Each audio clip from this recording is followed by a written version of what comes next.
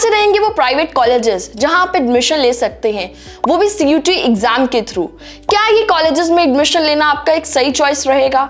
क्या रहेगा इन कॉलेजेस का एडमिशन प्रोसेस कौन सी स्पेशलाइजेशन मिलेगी आपको? और क्या रहेगी आपकी fees structure so hello everyone my name is Muskan और आज इस वीडियो में हम बात करने वाले हैं वो टॉप प्राइवेट यूनिवर्सिटीज के बारे में, जो आप एमबीए के लिए टारगेट कर सकते हैं थ्रू सी यू एग्जामिनेशन तो अगर आप इस चैनल पे नए आए हैं तो इस चैनल को सब्सक्राइब करना बिल्कुल मत भूलिएगा।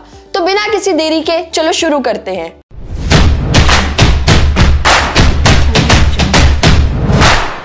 तो यहाँ हम बात करने वाले हैं टॉप प्राइवेट यूनिवर्सिटीज की। तो सबसे पहले टॉप प्राइवेट यूनिवर्सिटीज में हमारे पास लिस्ट में नाम है यूपीएस देहरादून। ये यूनिवर्सिटी देहरादून की काफ़ी जानी मानी यूनिवर्सिटी है और अगर मैं इसका एनआरआई रैंकिंग की बात करूँ तो ये यूनिवर्सिटी थर्टी रैंक पे है। ये यूनिवर्सिटी यूजीसी अप्रूव्ड होने के साथ साथ नैक एक्रीडिएटेड और बार काउंसिल ऑफ़ इंडिया से अप्रूव्ड यूनिवर्सिटी है। अगर इस यूनिवर्सिटी की एलिजिबिलिटी की बात करें तो स्टूडेंट्स इस यूनिवर्सिटी में एडमिशन लेने के लिए आपको मिनिमम टेंथ ट्वेल्थ और ग्रेजुएशन में 50 परसेंट स्कोर करना है। और ये यूनिवर्सिटी अपना खुद का इंटरव्यू और साथ में एक अपना टेस्ट भी कंडक्ट करती है। तो अब हम बात करते हैं स्पेशलाइजेशन की। तो यूपीएस देहरादून आपको वेरियस स्पेशलाइजेशन ऑफ़र करती है। जैसे कि एच फाइनेंस मार्केटिंग के साथ साथ ये यूनिवर्सिटी आपको स्ट्रैटेजी एंड कंसल्टिंग थ्रू के digital business oil and gas management power management जैसी स्पेशलाइजेशन प्रोवाइड करती है। तो अगर हम फ़ीस की बात करें तो यहाँ पे आपको एमबीए की फ़ीस कुछ छह लाख से लेकर सात लाख के बीच में मिलती है। और अगर मैं एवरेज प्लेसमेंट की बात करूँ तो इस यूनिवर्सिटी की एवरेज प्लेसमेंट कुछ साढ़े छह लाख से लेकर साढ़े सात लाख के बीच में रहती है। तो इस लिस्ट में दूसरी यूनिवर्सिटी हमारे पास है Sharda university Sharda university top one colleges में से गिनी जाती है अमंग टॉप मैनेजमेंट कॉलेजेस अगर मैं इसकी अप्रूवल की बात करूँ तो ये यूनिवर्सिटी यूजीसी अप्रूव्ड होने के साथ साथ साथ NAAC A plus accredited university है।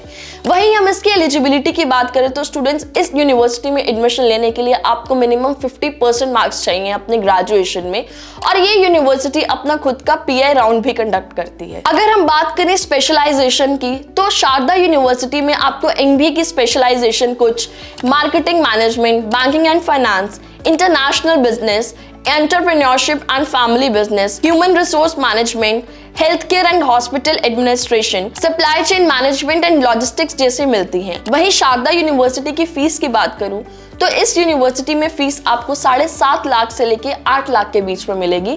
और वहीं दूसरी तरफ़ अगर हम इसकी एवरेज प्लेसमेंट की बात करें तो शारदा यूनिवर्सिटी की एवरेज प्लेसमेंट कुछ सात से आठ लाख के बीच में रहती है। C U T M B A private colleges में अगली यूनिवर्सिटी हमें एमटी यूनिवर्सिटी मिलती है। ये यूनिवर्सिटी एक टॉप रैंक यूनिवर्सिटी है। एनआरआई रैंकिंग की बात करें तो ये यूनिवर्सिटी ट्वेंटी रैंक पर UGC approved NAAC A plus grade university साथ में A I C T C approved university है। एलिजिबिलिटी की बात करें तो स्टूडेंट्स आपको मिनिमम 50 परसेंट मार्क्स स्कोर करने पड़ेंगे अपने यूजी प्रोग्राम में। और वहीं दूसरी तरफ़ ये यूनिवर्सिटी अपना खुद का एक रिटर्न टेस्ट भी कंडक्ट करती है। वहीं स्पेशलाइजेशन की बात करें स्टूडेंट्स तो एम यूनिवर्सिटी आपको वेरियस स्पेशलाइजेशन प्रोवाइड करती है। जैसे M in digital marketing M in design thinking M in agriculture and food business MBA in business analytics general M B M in HR और बाकी आप अपनी स्क्रीन पे देख सकते हैं। अगर हम एमटी यूनिवर्सिटी की फ़ीस की बात करें तो यहाँ पे आपको एमबीए कुछ तेरह लाख से चौदह लाख के बीच में मिलती है। और वहीं अगर मैं इसके एवरेज प्लेसमेंट की बात करूँ तो इस यूनिवर्सिटी की एवरेज प्लेसमेंट कुछ साढ़े छह लाख से लेकर साढ़े सात लाख के बीच में रहती है। नेक्स्ट ऑन द लिस्ट हमारे पास है I I L M university Gurgaon की। ये यूनिवर्सिटी गुड़गांव की काफ़ी फ़ेमस यूनिवर्सिटी है। ये university UGC approved NAAC A plus university A I U approved university है। अगर यहाँ पे एलिजिबिलिटी की बात करें तो स्टूडेंट्स इस यूनिवर्सिटी में भी आपको मिनिमम 50 परसेंट मार्क्स स्कोर करने पड़ेंगे। और साथ में इस यूनिवर्सिटी का आपको एक एप्लीकेशन फॉर्म भी फिल करना पड़ता है। वहीं अगर हम इसकी स्पेशलाइजेशन की बात करें तो इस यूनिवर्सिटी में आपको जर्नल एम के साथ साथ M in marketing and finance management business analytics sales and marketing जैसी स्पेशलाइजेशन भी मिलती है। वहीं हम इसकी फ़ीस की बात करें तो इस यूनिवर्सिटी की फ़ीस साढ़े ग्यारह लाख से लेकर साढ़े बारह लाख के बीच में रहती है।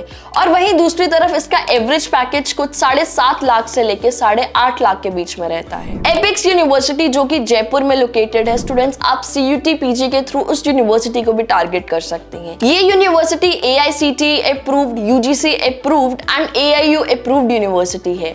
बात करें एलिजिबिलिटी की तो स्टूडेंट्स आपको मिनिमम 50 परसेंट मार्क्स चाहिए अपने ग्रेजुएशन में to take admission in Apex university वहीं अगर हम स्पेशलाइजेशन की बात करें तो स्टूडेंट्स इस यूनिवर्सिटी में स्पेशलाइजेशन आपको वेरियस फील्ड्स में मिलेंगी।